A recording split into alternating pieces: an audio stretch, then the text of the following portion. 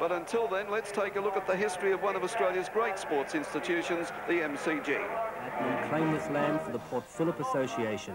This will be the place for a village. Over a century and a half on, the man who established Melbourne might have some difficulty recognising his village. It's grown just a little bit.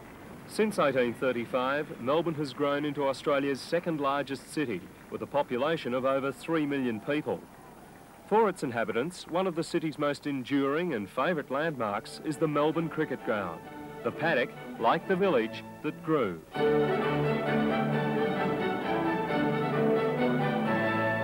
On an area of land known as the Richmond Paddock, the Melbourne Cricket Club erected its first members' pavilion in 1854. This was accompanied by marquees erected for such special occasions as intercolonial cricket matches, like the one depicted here in the earliest known sketch of the Melbourne Cricket Ground. In 1860, the impressive grandstand with its reversible seating was erected, and in 1877, the Richmond paddock was ready to stage the first ever test cricket match between Australia and England. Two years later, towers complete with carbon arc lamps were hoisted above the ground for a floodlit football match. The innovation was greeted enthusiastically by Melburnians of the day, quite a contrast with the erection of the six modern day light towers in the mid-80s.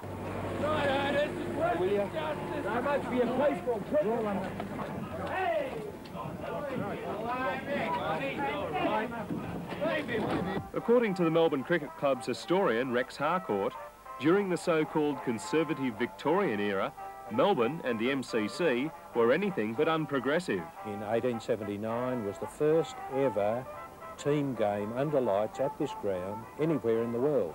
It amazes world sports historians that it should have happened in 1879. And of course, in 18, uh, in the late 1860s, the reversible stand was built uh, where the northern stand is today.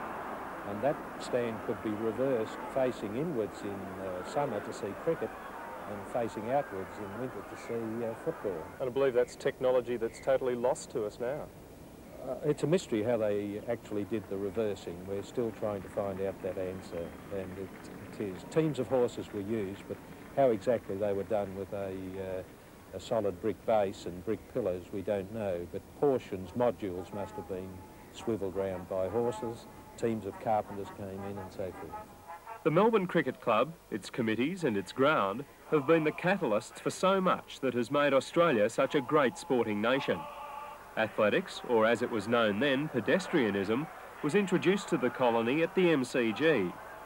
The first cycle race in Australia, which eventually became the Austral Wheel Race, and its associated attractions, was at the cricket ground. Baseball was first played there, as was lawn tennis. And of course, the rules of the first codified game of football in the world the game we celebrate today, Australian football, were drawn up by members of the Melbourne Cricket Club.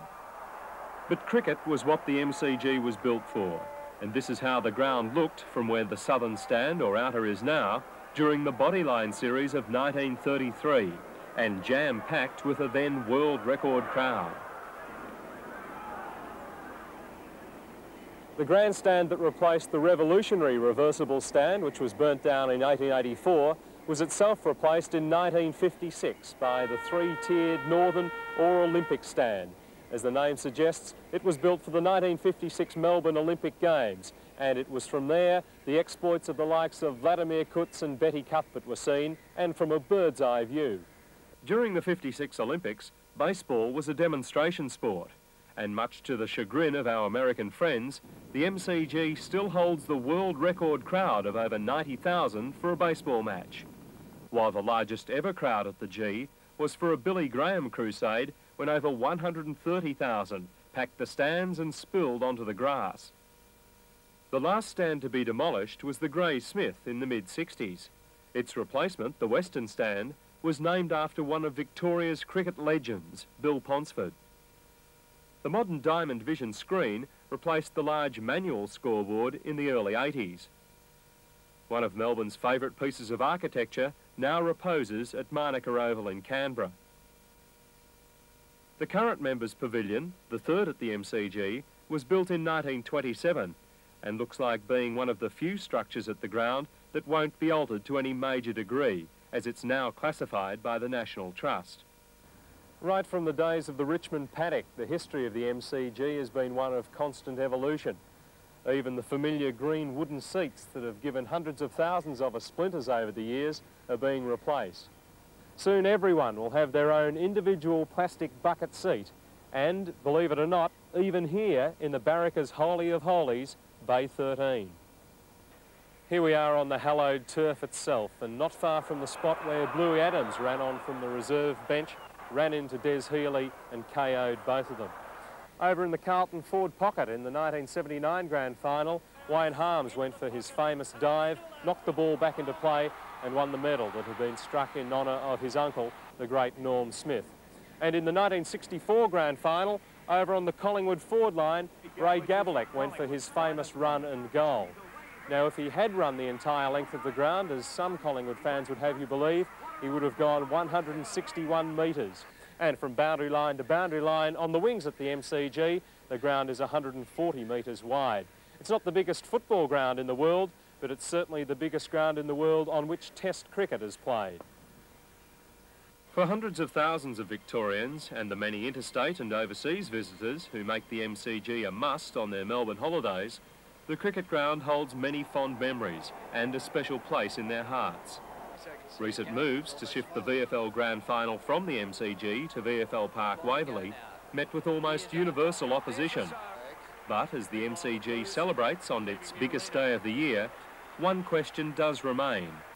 When the AFL Grand Final between the Brisbane Bears and the Los Angeles Angels is staged in the year 2003, will it still be played at the MCG